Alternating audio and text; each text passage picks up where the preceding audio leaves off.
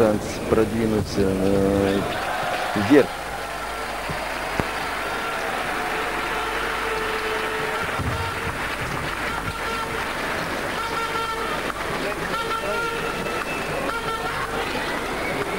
Ну, Шлагер это очень опытный спортсмен, который лучших результатов своих добился уже после довольно-таки солидного возраста, после 25 лет. А Груич это спортсмен очень перспективный был.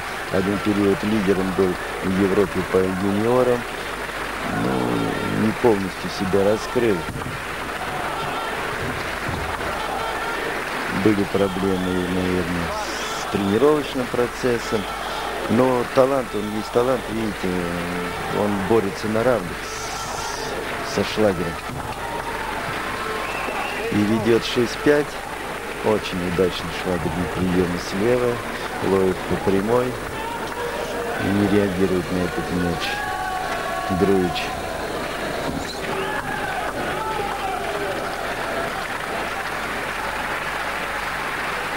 Эта встреча у нас за выход э, в 16, в 1 восьмую.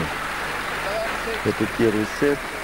Счет 6-6. И вот недавно опять мы смотрим опять, что такое опыт. 6-3 вел Груич, и теперь счет уже 7-6 в пользу, Шлагера. Вот мы видим второго представителя австрийской сборной. Довольно-таки крепкая команда для того, чтобы участвовать в командах соревнованиях. Дружная, имеющая разнообразных спортсменов и, наверное, претендующие, по крайней мере, в мировой иерархии и в европейской на высокие места. Шлагер – это законодатель мод в Австрии. Очень волевой спортсмен. Мы как говорим, что повториться можно, что довольно-таки в серьезном возрасте он заиграл на мировом уровне и одерживает довольно-таки серьезные победы, э, особенно на открытых чемпионатах. И он ко всем турнирам относится очень серьезно. Он сейчас ведет 9-7. Ну, он родился в 72 году, значит, 31 год практически ему. Вот скоро исполнится в сентябре месяце, ему будет 31 год. Очень много у него хороших результатов в течение вообще его спортивной деятельности. В 99 году он был призером чемпионата мира в полуфинале. Очень удачно играл на Олимпийских играх. Он два раза был в восьмерке в паре и в одиночном разряде. Это в Сиднее. На чемпионате мира опять 2002 года был полуфиналистом э, и э, финалиста Кубка мира 99 года. Очень серьезный, очень основательный спортсмен. Спортсмен, который пропагандирует агрессивный настольный теннис с огромным количеством повторов. У него нет таких качеств, может, как у китайских спортсменов, которые взрываются на одном мяче, но вот эта стабильная активность, все время агрессия во всех мячах, которая дает ему возможность играть на равных со всеми спортсменами всех стилей. А вы видели Калинича, многократного чемпиона мира, особенно в парных соревнованиях себя проявившего на мировой арене. И теперь является тренером э, сборной. Э, ну, теперь мы будем говорить не Югославии, а Сербии и Черногории. Сербия, Черногория. Такая страна теперь новая у нас. Груич начинает второй сет с выигрыша очка на подаче.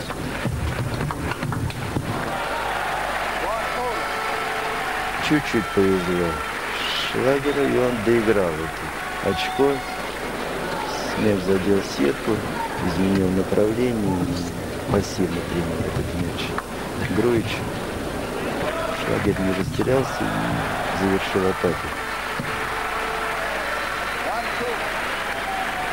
Ну, что можно сказать про эту игру? Груич имеет э, очень богатый технический арсенал, но я думаю, что не полностью он его использует. Более строго ему надо играть. Я думаю, тогда успехи могут быть более серьезные на европейском, на мировом уровне. немножко разбросаны по сравнению со шлагером, который имеет четкое направление игры. Друич, может быть, интереснее играет некоторые мячи, но в сумме стабильности проигрывает спортсмен. И вот 3-2 счет уже в пользу Шлагера. Активно сыграл Груич в правую сторону, и Шлагер сыграл не тем элементом, который он сегодня играет, а подставку. У него очень хорошо идет прием топ-спинов слева на столе, а справа он в основном, конечно, перекручивает. А сейчас он сыграл пассивно. Груич выигрывает очко. Принял мяч, который не выскочил за край стола. Посмотрите, вот что такое хороший прием подачи.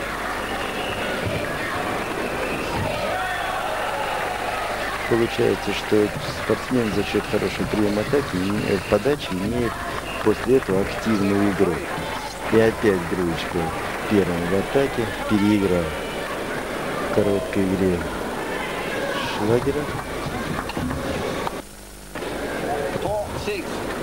Ну, такая, такие ошибки не свойственны игрокам мирового уровня. Поэтому мы говорим, что э, сочетание мячей, которые э, под аплодисменты проходят э, сочетание с простыми ошибками, с простыми ошибками. А вот этим, наверное, отличается настольный теннис э, пунктуальных азиатского настольного тенниса, пунктуального и европейского, который играет все-таки больше на экспромтах.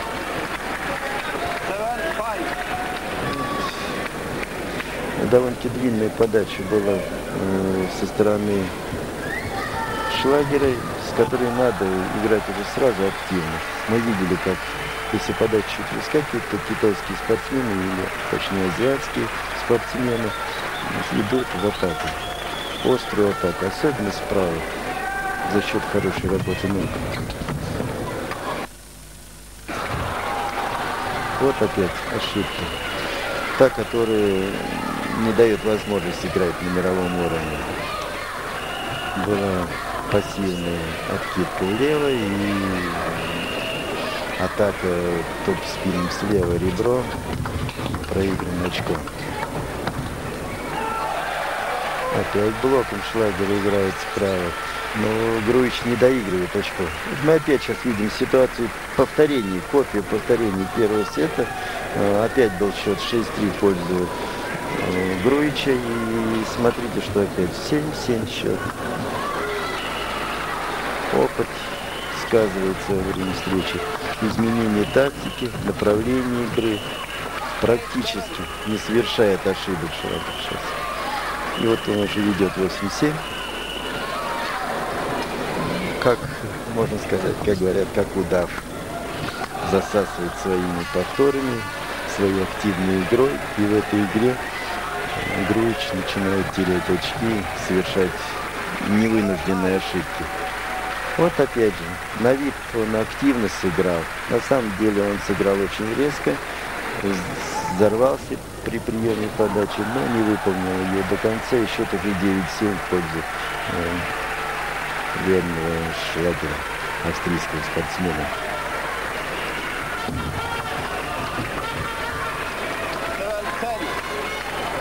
Нам приходит картинка, конечно, очень тяжело сразу сориентироваться. Мы перескочили с одного матча на второй матч, но уже счет 10-7 в пользу Шлагера, 3 сет.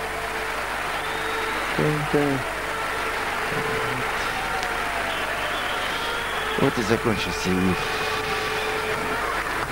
Нет, я ошибся. 10-8.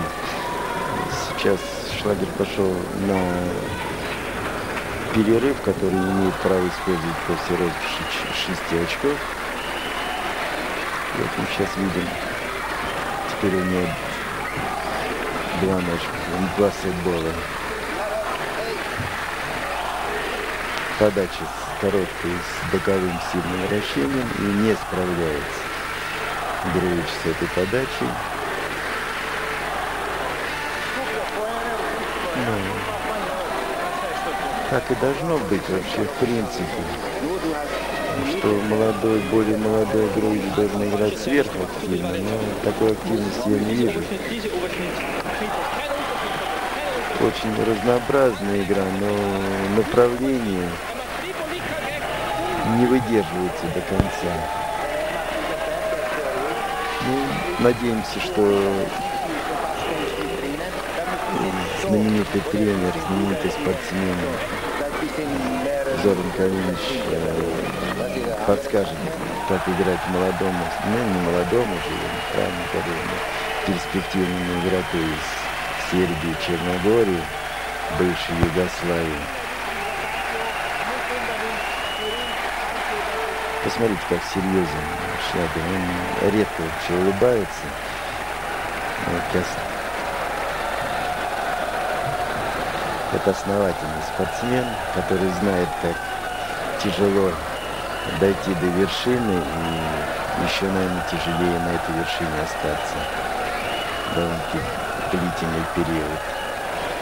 Ну, наверное, он единственный, один из спортсменов, тех, которые защищают честь Европы и на мировой арене. Видите, уже на двух чемпионатах мира, он призер чемпионата мира, это очень почетно. Вот посмотрите. Опять же, очень активно сыграл Груевич с подачи, точно с такой же подачи, которую он не принял при счете 10-8. Сейчас он играет активно, но посмотрите, опять с центра стола играет слева. Если это уже начал атаку, надо продолжать ее сильнейшей стороной, сильнейшей стороной, это правой стороной.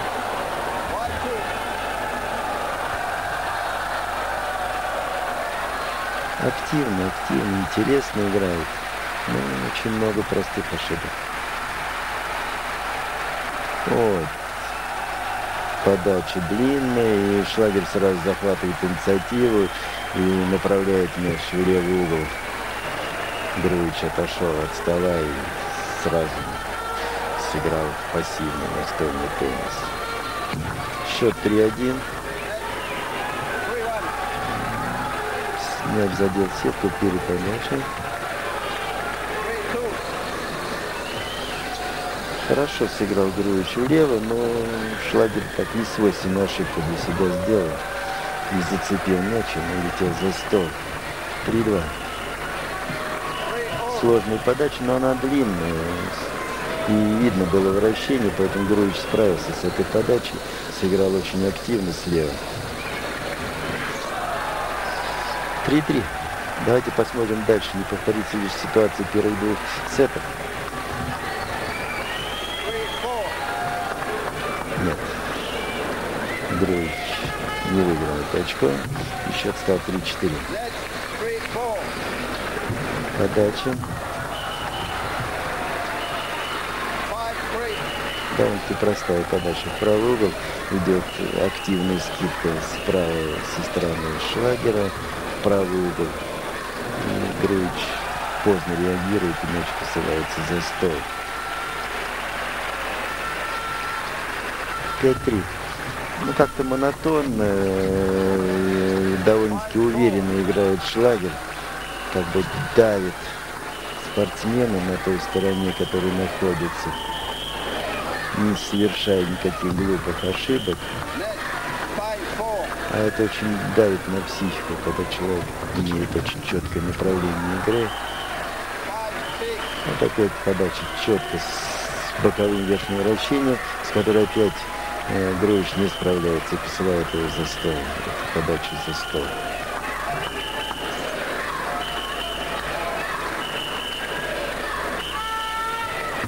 Ну, это два европейских спортсмена, которым, которым нам лучше знакомы, конечно, по сравнению с азиатскими спортсменами. Э, это довольно-таки э, стадия еще та, в которой Шлагерев уже проходила, а для Груевича, наверное, она будет высокой, попасть в 16 на чемпионате мира. Это хороший результат. Для Шлагера это продолжение борьбы, а для Груевича, наверное, это будет в определенной мере, если он выиграет эту встречу и сумеет перебороть, изменить ход борьбы, это будет, конечно, успехом.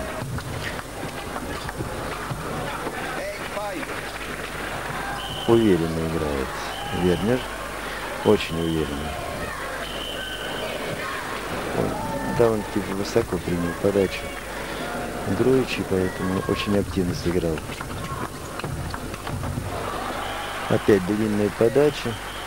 Ну, сейчас правильно сыграл Груич, продолжил атаку. Начал атаку и продолжил. Продолжил глубоко вправо. И на этот мяч не сумел среагировать. Шлагер 6-8. Опять простая ошибка на скидке. Не сумел направить мяч в правый угол. Э, Груич обидно для него и, наверное, приятный момент испытывает этот момент шлагер. А сейчас шлагер просто э, подрезал сильную подрезку, применил глубоко влево Круич, э, и Круич не справился с подрезкой и направил в. Опять подача с бытовым вращением, очень удачный пример. Очень удачный пример. Круич.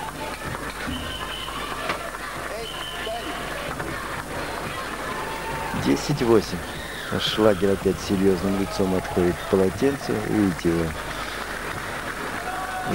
есть Он весь в матче.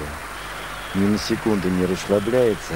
А Груич э, все-таки более игрок, можно сказать. Он играет. Наслаждается игрой. Вот, посмотрите, а, три подряд мяча активной игрой э, заставил пассивно сыграть э, Шлагера и выиграл три мяча подряд.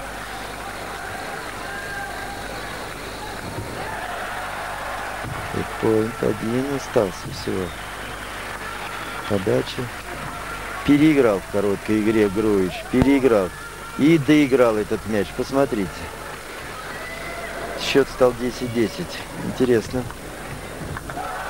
Наверное, это единственный шанс у Груича зацепиться в, третий, в третьем сете, чтобы была дальнейшая борьба. Посмотрим, что он будет.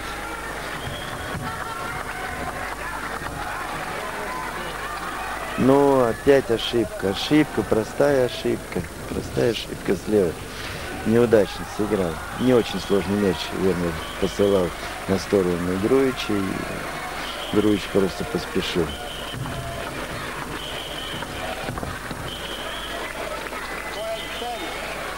Ну, опять мы говорим, очень четко сыграл в конце, на больше-меньше э, спортсмен из Австрии, переиграл в короткой игре, сыграл очень тактически грамотно. Ну, очень аккуратно, наверное, можно да, сказать. Даже так. аккуратно, да. Кстати говоря, давно заметил, что австриец играет с такой большой достаточно повязкой на колене. Насколько я знаю, у Шлагера хроническая травма колена, и для того, чтобы оно не вылетело, что называется, профессиональные спортсмены используют вот такой жесткий бандаж. К примеру, наш гандболист э, Дмитрий Торгованов выступает с, так, с, такой, с такой же, с таким же бандажом на колене. Ну вот, тем не менее, можно лишь позавидовать мужеству Вернера Шлагера. Кстати говоря, бессменному финалисту, практически бессменному финалисту э, последних трех или четырех, я не помню уже, розыгрышей Кубка Европейских чемпионов. Не раз встречался с ним Владимир Самсонов в этом розыгрыше, не раз его обыгрывал. Ну, как знать, может быть и, может быть и здесь их пути пересекутся. А, если пересекутся, мы будем очень довольны, потому что один европеец уже точно пройдет дальше. А, ну, мы говорим сейчас о травме, которую получил в свое время э, Шлагер. У нас спортсмен есть такой Максим Шмырев, который тоже имел очень серьезные, очень серьезные повреждения в коленном суставе. Значит, и даже из-за этого не смог участвовать в финале Олимпийских игр 92 года. Значит, и то же самое он также играет э, с... на коленником. На коленником, да. Ну, в принципе, э, это говорит только лишь о том, что мы еще не доросли до профессионального образа жизни. Если мы посмотрим баскетбольный НБА, то мы увидим, что нет ни одного практически спортсмена, который бы не играл бы но там спортсмены очень высокого и, роста, да. и нагрузка на Нагруз... колени очень высокая. В настольном теннисе она может быть чуть меньше. Я не говорю о том, что она намного меньше. Но тем не менее физические нагрузки, которые получают мастера малой ракетки, очень огромная и не стоит преуменьшать их ну, заслуги, наверное, даже можно и так сказать. Но мы можем обратиться к науке. Э, как ни странно, настольный теннис по количеству передвижений находится на втором месте после именно баскетбола. Значит, подвижность спортсменов в настольном теннисе очень велика. Особенно она велика подвижность и с изменением направлений. Поэтому коленные суставы у нас тоже довольно-таки часто летят, голеностопы и коленные суставы, в чашечки, и мениски. Это у нас тоже профессиональные болезни. Поэтому я думаю, что нагрузки специфичные как и для баскетболистов, как и для настольного тенниса, для всех видов спорта. Потому что спорт стал по-настоящему профессиональный. И чтобы добиться результата, наверное, нужно комплекс уже иметь, кроме таланта, способностей, большого объема тренировочного процесса, наверное, и теперь огромное внимание на здоровье, на физические кондиции спортсменов нужно обращать. Это нужно обращать с детства, потому что все эти болячки, наверное, исходят на первом этапе. Да, ну отложим немного разговор о болячках. Все-таки продолжается у нас четвертая партия. Да, вот, дорогие друзья, не так просто это взять ракетку и выйти к столу и просто помахать. Попробуйте вот против, против такого теннисиста набрать хотя бы одно очко.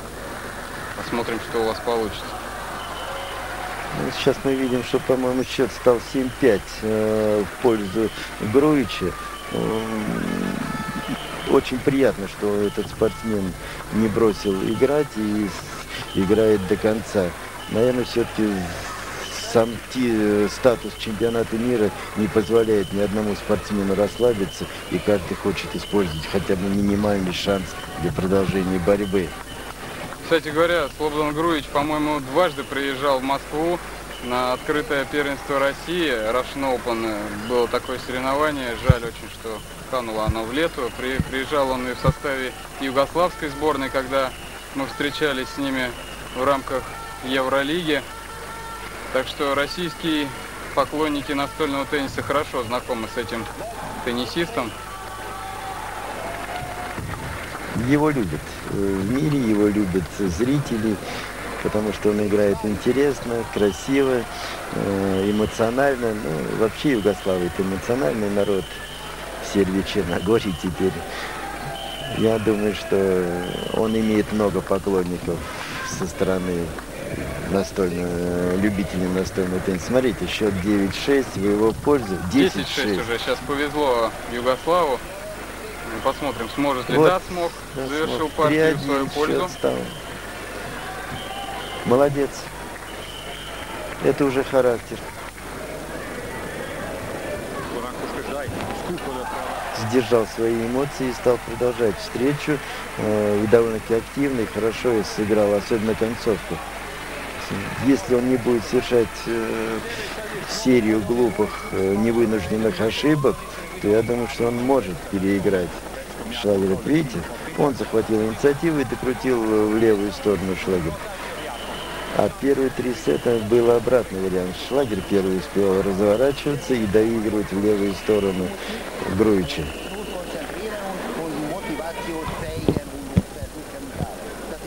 Эту подачу, которую не принимал, теперь он четко играет ее на приеме. Кстати говоря, игра по прямой. Кстати говоря, после вчерашней встречи Юкичу против Тима Бола Ему Бол нашел в себе силы все-таки дать небольшое интервью. Он сказал о том, что китайский спортсмен нащупал его слабые стороны за те две партии, которые он проиграл. Тиму Бол выиграл первые два сета, затем приспособился к его мощным топ-спинам и обхитрил чисто теори... тактически. Даже, можно сказать, и теоретически. В голове у китайцев, как известно, компьютер, и они отличаются тем, что просчитывают множество комбинаций в своей голове перед тем, как начать хоть какой-то розыгрыш. Этому их учат тренеры с пеленок, наверное, можно так даже сказать. Правильно, очень правильные слова.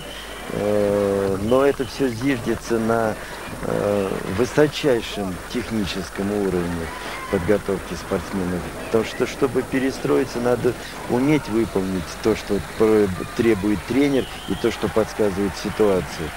Многие спортсмены знают, как обыграть э, противника, но э, не все могут это выполнить. Посмотрите, как активно начал эту встречу э, Сет Груич.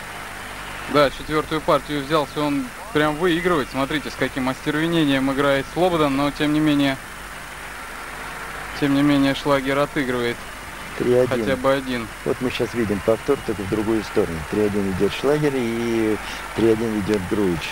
Как будет дальше продолжаться борьба? Конечно, с 0-3 начинать это тяжело, но чемпионат мира. Или ты отдыхаешь, или продолжаешь борьбу. Видно, Груич захотел продолжить участвовать в этих соревнованиях и очень серьезно. Посмотрите, он стал, его лицо изменилось по отношению к первым двум сетам, и он такой же серьезный, как Шлагер. До 1-16 финала из россиян дошел лишь Федор Кузьмин.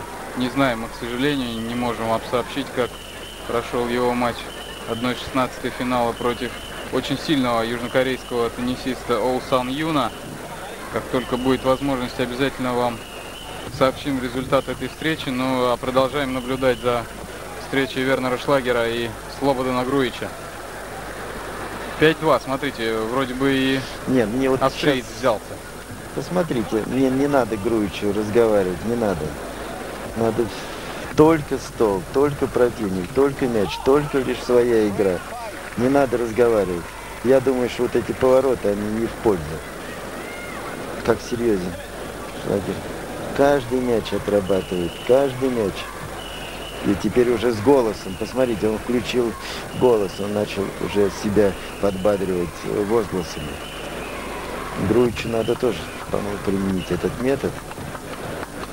Хороший прием. Но Шлагер первый опять разворачивается. Груичу надо раньше активнее играть. Его поддерживают югославские специалисты, которые сидят там. Да, надо играть так, как в четвертой партии, когда он подавил австрийца своей активностью, ну а тут отдает инициативу буквально. Отдал полностью инициативу, да. 5-1 вот был счет. Да, сравнивает уже счет Вернер Шлагер. Вчера, кстати, фантастическая ситуация. Многие специалисты не переставляли ей удивляться.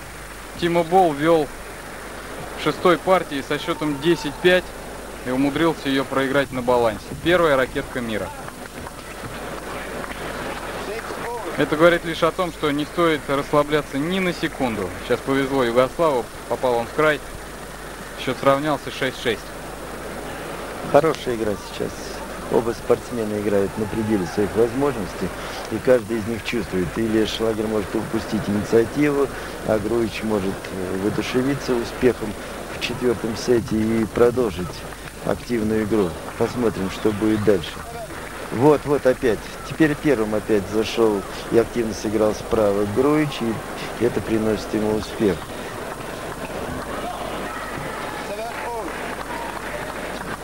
Не готов был к повтору активной Ногами не доработал просто-напросто.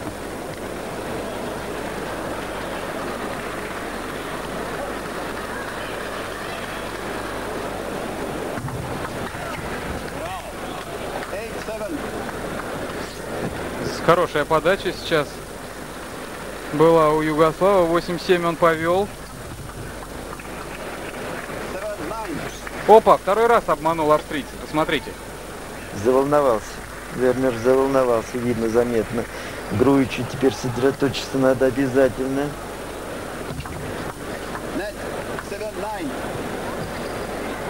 Мяч задел кросс. Судьи попросили повторить подачу. Опа, и все начинается в другую сторону. Три очка разыграно четко только на одним ходом подачами. Это уже концовка встречи. Посмотрите. Да, рисковал. Рисковал сейчас Югослав. Но счет сравнялся. переломный, наверное, момент в игре. Либо Югослав сейчас сможет выиграть пятую партию и приблизиться вплотную к Вернеру Шлагеру, либо все в этой встрече завершится.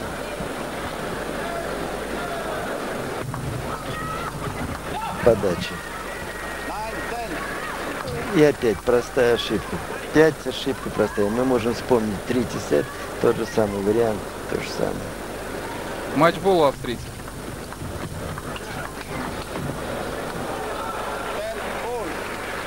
Ох, как вернул, посмотрите, а! Вот за это Груичи и любят, за такие очки, которые практически невозможно было сыграть. Он и сыграл ну, мяч, который не выигрывается. По-моему, даже Шлагер не ожидал такого от своего оппонента. Каким-то неуловимым движением Груич сыграл косо вправо, и Шлагер не сумел на стол мяч положить. Но здесь не удалось повторить тот же трюк. Второй матчбол.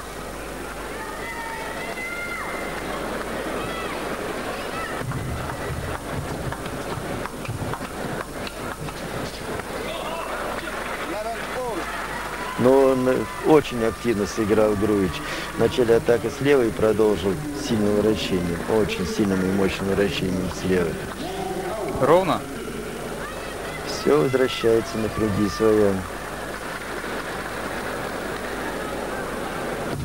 Да что сейчас творится в душе у спортсменов? Очень активно сыграл. Перекрутил со стола. Груич очень глубоко сыграл влево, и очень сложно было, конечно, Шлагеру еще дальше зайти и сыграть справа. Да, смотрите, как нервничает австриец, даже несмотря на то, что за его плечами множество международных матчей, встреч самого высокого уровня. И опять одна ошибка. Скидка, скидка справа. Сегодня подвоен Груича. Разыграно 24 мяча. Можно передохнуть чуть-чуть и продолжить игру.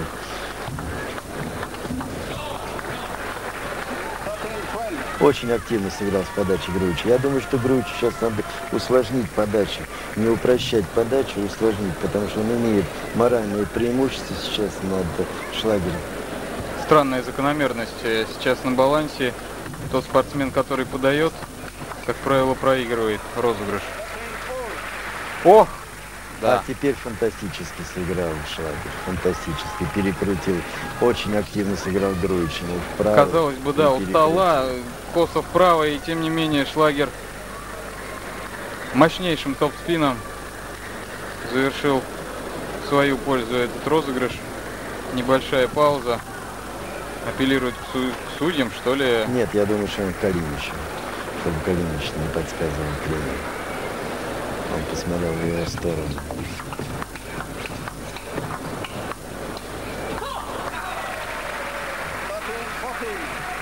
Шлагер Да. Шлагер есть шлагер. настраивает себя, настраивает себя на последнее очко. Но Груич играл хорошо, это очко разыграл. Просто Шлагер проявил высочайший уровень мастерства. Смотрите, какая борьба. Да, Да, может быть, этот какой. сет э, может быть решающим, переломным в какой-то момент. Долгий какой сет. Тем не менее, верно шлагер на подаче. Ровно.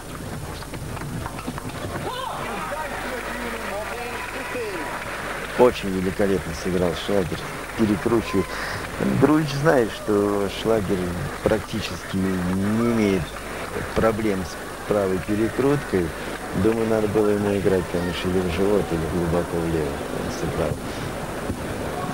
Здорово, быстро, активно вправо, но на сильнейшую сторону Шлагер.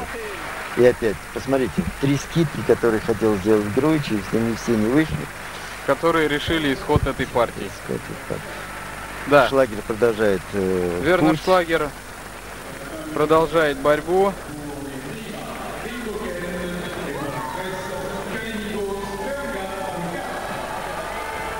Австриец должен быть очень доволен. Со счетом 4-1 повержен Слободан Груич. Слободан Груевич, кстати, известен еще и как партнер Александра Каракашевича в парном разряде. В Европе они очень известны, играют очень успешно. Ну и не менее успешно выступает Вернер Шлагер со своим товарищем по австрийской команде Карлом Йиндраком. Смотрим последний розыгрыш. Нет, э, это самые интересные моменты, заключительные в этой встрече пятой партии. Вот смотрите на работу Нока, на работу правой руки Вернера Шлагера. Все идеально выдержано, на мой взгляд. Великолепная техника у австрийца.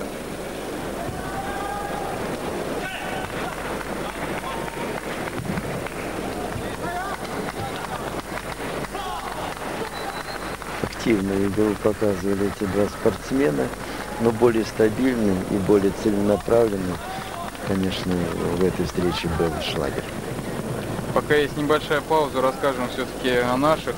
Максим Шмырев добрался до 1.32 финала. Вчера мы предположили, что его матч против Чан Пен Люна из Тайваня завершился очень быстро, а нет. Со счетом 4-3, к огромному сожалению, нашему сожалению, выиграл тайванец. Максим вел со счетом 3-1, но проиграл в решающем седьмой партии со счетом 11-9. Алексей Смирнов проиграл Сей Юджу со счетом 4-1. Ну а про Федора Кузьмина мы уже говорили. Он вышел в 1-16, обыграв Дани Хейстера 4-2.